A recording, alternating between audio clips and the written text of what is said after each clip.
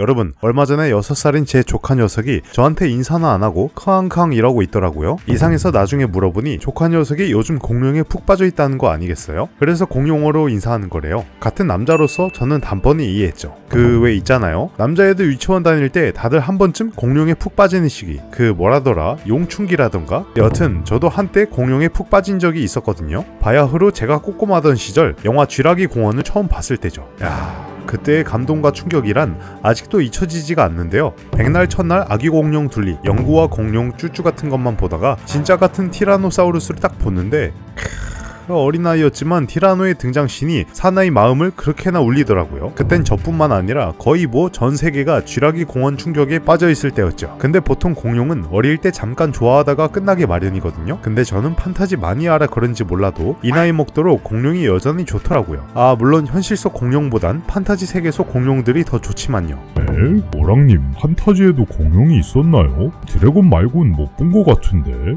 네, 당연히 있죠. 판타지가 어떤 장르인데요. 현실성 빼고 다 있는 장르인데 바로 드래곤의 아류들인 드레이크와 와이번이 있잖아요. 그래서 오늘은 판타지 세계의 공룡들인 드레이크와 와이번에 대해 한번 이야기해 볼게요. 그리고 남자애들은 왜 그렇게 공룡을 좋아하는지 그리고 요즘 드레이크와 와이번이 오히려 드래곤들을 잡아먹고 있다고 하는데요. 그 충격적인 이야기에 대해서도 한번 이야기해 볼게요. 아이들은 왜 그렇게 공룡을 좋아할까요? 그 이유는 크게 네 가지인데요. 그중 첫 번째는 바로 상상력 자극입니다. 아이들은 상상력이 매우 풍부합니다. 그래서 장난감 하나만 쥐어줘도 온갖 상상의 나래는 다 펼치면서 하루 종일 갖고 놀죠. 세계를 구하기도 하고 멸망시키기도 하고 공룡이랑 호랭이랑 결혼을 하지 않나. 아주 그냥 마블 영화가 시리즈로 10편은 뚝딱 나와요. 때마침 공룡은 실제로 존재하진 않지만 과거엔 실제로 존재했던 아주 특별한 존재입니다. 그래서 상상의 나래를 펼치기에 안성맞춤이죠. 왜냐면 모든 사실 기반에 적당한 호구가 더해진 것이 가장 그럴듯해 보이니까요. 반대로 귀신이나 괴물 같은 것들은 과거에나 현재에나 존재하지 않는 존재들입니다. 그래서 애들이 귀신이나 괴물 같고 상상의 나래를 펼치기엔 다소 허무맹랑하고 긴 빠지죠. 반대로 사자나 호랑이 같은 애들은 실제로 존재하긴 하지만 현실의 존재들이라 상상의 나래를 펼치기엔 한계가 있습니다. 왜냐면 이미 정해진 것들이 너무 많으니까요. 근데 공룡은 어떤 존재다? 실제로는 없지만 과거에 없어요. 있었다. 게다가 아직 발굴 연구 중이라 이미 밝혀진 내용도 많고 여전히 미지의 영역인 부분들도 많다. 그러니 애들이 공룡 가지고 상상의 나래를 펼치기에 딱 좋은 것이죠. 그런데 공룡의 매력은 여기서 끝이 아닙니다. 바로 공룡의 매력적인 외모인데요. 공룡은 기본적으로 크기가 큽니다. 그만큼 힘도 세죠. 거기다 날카로운 이빨과 발톱, 그리고 뿔까지 아, 아주 그냥 한눈에 봐도 애들이 눈 돌아갈 만한 요소는 다 갖추고 있죠. 때마침 4세에서 6세의 시기는 옴니포턴트 위시라는 시기입니다. 이는 자신이 세계의 중심에 있다고 생각해 전지전능함을 느끼고 싶은 욕구가 차오 르는 시기인데요. 이 때문에 아이들은 거대함이나 강함을 갈망하게 된다고 합니다. 하지만 이러한 아이들의 욕구와는 반대로 아이들의 몸은 너무나도 작고 미성숙한데요. 공룡의 자신을 투영해 대리만족하는 것입니다. 그래서 이와 비슷하게 탱크나 로봇 같은 걸 좋아하는 이유이기도 하고요. 어디 그뿐이랴 아이들이 공룡에 열광하는 이유는 또 있습니다. 그건 바로 다양한 공룡의 종류인데요. 뛰댕기는 놈, 날라댕기는 놈, 물에서 사는 놈, 민폐 끼친 놈, 음침한 놈 등등 공룡은 그 크기와 모양, 특성이 제각각입니다. 이름도 뭔가 발음하기 어려운 것이 상당히 있어 보이고요. 거기다 무늬와 깃털도 굉장히 화려해 아이들의 눈길을 끄는데요. 그렇다 보니 공룡은 아이들이 탐구할 만한 요소가 무궁무진합니다. 그런데 아이들은 저 나이 때 뭔가를 탐구하려고 하잖아요. 그래서 공 룡에 빠져드는 것이죠. 때마침 공룡을 주제로 한 장난감이나 만화, 영화 같은 컨텐츠들도 상당히 많고요. 하지만 반대로 사자나 호랑이 같은 애들은 종류도 적고 이름도 다 거기서 거기라 멋이 없습니다. 행여나 얘네들한테 빠진다고 해도 탐구할 내용이 적어 금방 실증을 내죠. 그러나 아이들이 공룡에 열광하는 결정적인 이유는 바로 어른들의 칭찬입니다. 어른들은 대부분 공룡에 대해 잘 모릅니다. 그래서 아이들이 공룡을 조금만 공부해도 어른들을 능가할 수 있는데요. 아이들이 어른들 앞에서 어려운 공룡 이름들을 줄줄줄 외워대면 어른들 입장에선 그게 뭔진 잘 모르겠지만 아이들이 스스로 뭔가를 열심히 공부해 자랑한다는 게 그렇게나 기특해 보일 수밖에 없습니다.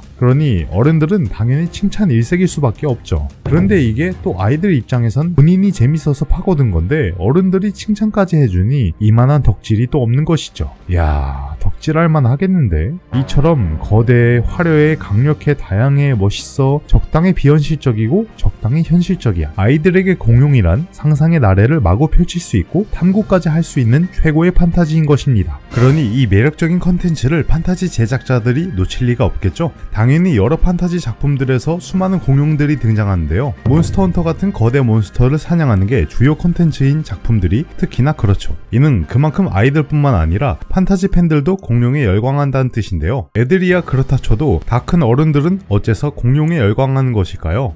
어른들은 더 이상 공룡을 가지고 아이들처럼 상상의 나래를 펼치지 않습니다. 그래서 어른들은 공룡을 가상의 존재라 좋아하는 것이 아닌 현실적인 이유로 좋아하죠. 공룡은 몸집이 크고 매우 사나우며 힘이 셉니다. 이는 판타지 작품들에서도 마찬가지인데요. 그래서 종종 공룡 계열의 몬스터들은 보스몹 혹은 중간 보스몹, 대형몹으로 그려집니다. 근데 이런 몬스터들은 보통 뭐다? 잡기는 어렵지만 잡기만 하면 엄청난 보상이 주어진다. 그리고 이런 몹들은 워낙 강하기 때문에 또 혼자 잡는 것이 아닌 파티를 이루어 여러 명에서 잡아야 한다. 그래서 공룡 몹들은 보통 판타지 게임들에서 유저들에게 엄청난 재미와 보상을 선사해줍니다. 무엇보다 덩치가 크고 사납게 생겼다 보니 얘네를 쓰러뜨렸을 때 이 크고 무서운 놈을 내가 잡았어? 하면서 밀려오는 그 정복감이 장난 아닙니다. 아주 그냥 공뽕 오진다니까. 그래서 유저들에게 공룡 몬스터가 인기인 것이죠. 그렇다면 이 둘은 얼마나 셀까요? 사실상 용보다 약하지만 웬만한 필드보스급으로 강한 친구들인데요. 아무리 드래곤이 아니라곤 하지만 그 피 어디 안 간다고 같은 용족인 이상 피지컬부터가 남다르죠. 아 참고로 대부분의 판타지 작품들은 얘네를 용족으로 분류하지 공룡으로 분류하진 않는데요. 판타지 세계엔 드래곤이 존재하니 굳이 공룡으로 분류할 필요가 없기 때문이죠. 또 드래곤의 아류라고 하면 그 나름대로 응용할 만한 컨텐츠들도 많이 나오고요. 예를 들어 어떤 작품에서는 드레이크를 용이 코뿔소와 교미해 탄생했다고 합니다. 엥? 용이? 왜?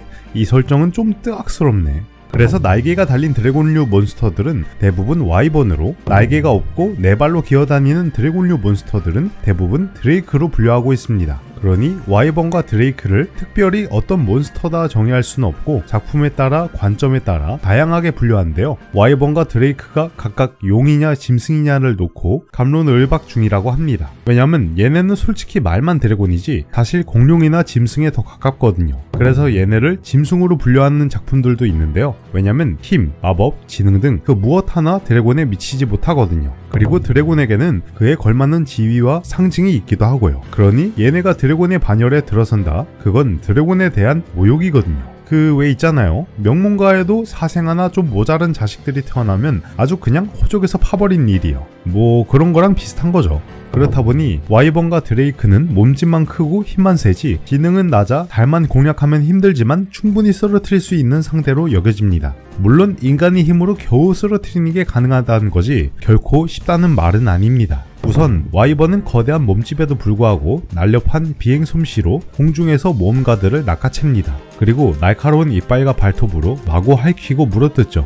어디 그뿐이랴. 꼬리 끝에는 정갈 마냥 화살촉 모양의 맹독 주머니가 달려있고 까마귀 새끼들 마냥 고막을 찢는 굉음도 내짓습니다. 그래서 와이번에게 다가가는 것도 힘들며 웬만한 공격으론 와이번을 맞추기란 불가능하죠. 어찌저찌 원거리 무기로 와이번을 맞춘다고 해도 문제인 게 와이번이 용족인 만큼 그 비늘과 가죽이 매우 두껍거든요. 그래서 특수한 무기가 아니면 어지간해선 와이번의 비늘을 뚫을 수조차 없습니다. 그런데 진짜 문제는 와이번 한 마리도 이렇게 강한데 와이번들은 철새들 마냥 떼지어 다닌다는 것입니다. 거기다 와이번들의 서식지 또한 쉽게 접근할 수 없는 가파른 절벽 위인데요. 이는 알과 새끼들을 침입자들로부터 보호하기 위함이라고 합니다. 동시에 높은 곳에서 바로 도약해 빠르게 날아오르기 위해서이기도 하고요. 그러니 와이번을 잡으려면 보통 그리핀 같은 공중 유닛을 타고 잡아야 합니다. 그럼 드레이크는 또 어떠냐? 드레이크도 결코 만만치 않은 상대입니다. 그나마 드레이크는 육상 공룡이라 근접 공격이 가능한데요. 서식지 또한 황야나 초원 같은 비교적 찾아가기 쉬운 곳에 위치해 있습니다. 하지만 문제는 얘네도 떼지어 다닌다는 것인데요. 드레이크들은 들소 떼 마냥 적게는 수십에서 많게는 수백 마리까지 몰려다닙니다. 드레이크들은 성깔이 아주 더럽기 때문에 분노 조절 장애들 마냥 천적이 보이면 한문철 TV에 나올 각오로 냅다 들이받아버립니다. 그럼 그 육중한 몸집과 크고 날카로운 뿔로 인해 드레이크가 지나간 자리엔 아무것도 남지 않죠. 그리고 당연히 드레이크들도 용족 출신답게 비늘 가죽 방어력 하나는 끝내주고요.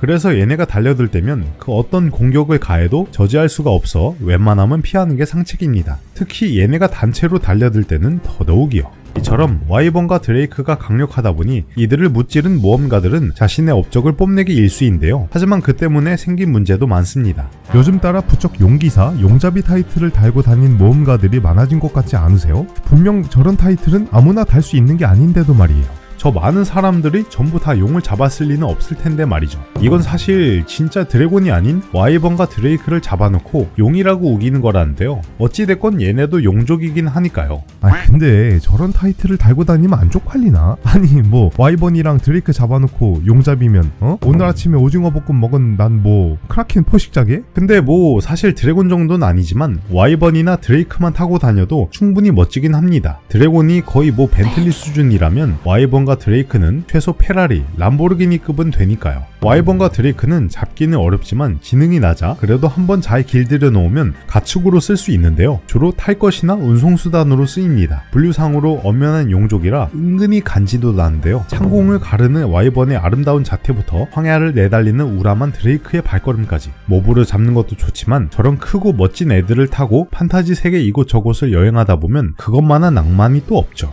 나 어젯밤에도 저거 타고 삼거리 여관에서 헌팅한 애들 봤다니까?